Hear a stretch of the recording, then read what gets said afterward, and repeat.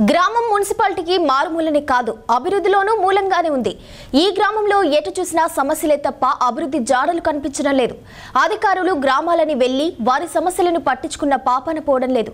ఫలితంగా అభివృద్ధికి దూరంగా సమస్యలకు దగ్గరగా బతుకు జీవుడా అంటూ కాలం వెల్లదిస్తున్న భూపాలపల్లి మున్సిపాలిటీలోని పదవ వార్డు గండ్రపల్లి గ్రామ ప్రజలపై RB news special focus.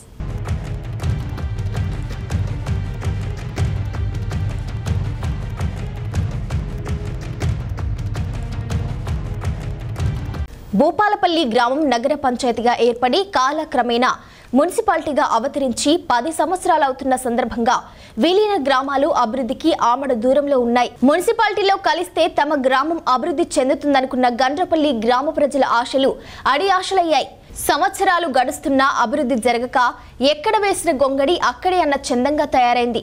గ్రామ పంచాయతీలో ఉన్నప్పుడన్నా ఎంతో కొంత అభివృద్ధి జరిగేది. కానీ మున్సిపాలిటీలో కలిశాక అభివృద్ధి జాడలు కనిపించడం లేదు. తద్వారా గ్రామంలోని సమస్యలు ప్రజలను వెంటాడుతూనే ఉండడంతో మున్సిపాలిటీలో విలీనమైన సంతోషం వారిలో కనిపించడం లేదు.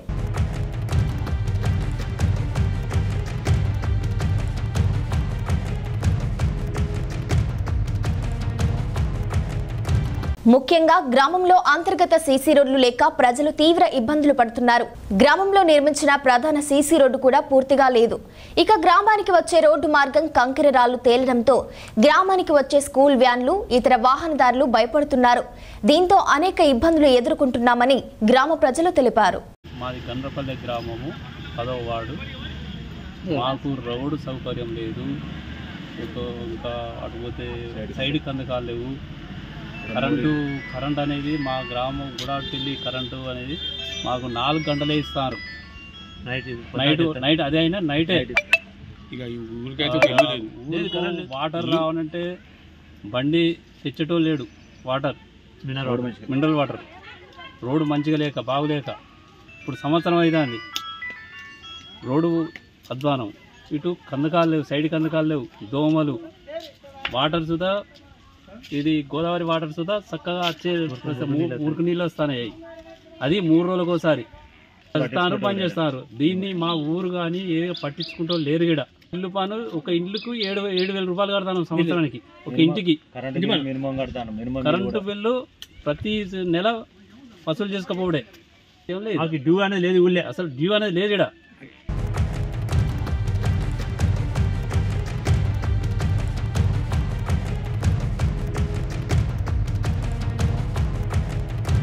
ఇక ఇదిలా ఉంటే గ్రామంలోని ప్రధాన సమస్య డ్రైనేజీ. గ్రామంలో డ్రైనేజీ కాల్వలు లేక ఇళ్ళలోకి నీరు ఎక్కడ పడితే అక్కడ పేరుకుపోయి దుర్గంధం వెదజల్లుతుంది. దీంతో దోమలు వ్యాప్తి చెంది రోగాల బారిన పడుతున్నారు. ఇక వర్షాకాలం వచ్చిందంటే డ్రైనేజీల వరద నీరంతా ఇళ్ళలోకి చేరుతుంది. దీంతో తీవ్ర ఇబ్బందులు ఎదుర్కొంటున్నామని గ్రామస్తులు ఆవేదన వ్యక్తం చేశారు.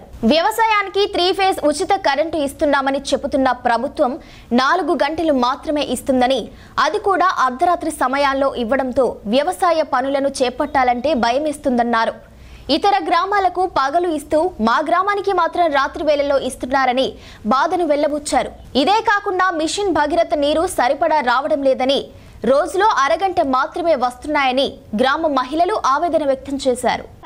లేవు మేమే సైడ్ కాలువలు తీసుకుంటాం మేమే సైడ్ కాలువలు తీసుకున్నాం చెత్త ఎత్తుకున్నాం మేమే అన్ని మాయే. వాళ్ళు మున్సిపాలిటీ అసలు ఊరికే రారు. ఇగో ఇవాళ ఇవాళ నచ్చినాను పక్కన అంటే ఆ టక్కన అయితే ఆ లాస్ట్ వరకు ఎత్తిపోతాను. నీళ్ళు ఎట్లా వెళ్తాయి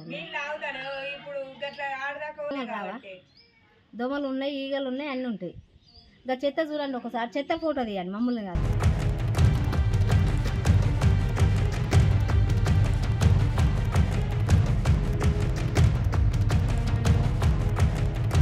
ఇలా గ్రామంలో ఎటు చూసినా అభివృద్ధి లేక ఇబ్బందులు పడుతున్న స్థానిక ప్రజా ప్రతినిధులు స్థానిక నాయకులు ఎన్నుకోబడిన కాన్నుంచి ఇప్పటి వరకు గ్రామం వైపు కన్నెత్తి చూసిన దాఖలాలు లేవని గ్రామస్తులు ఆరోపిస్తున్నారు.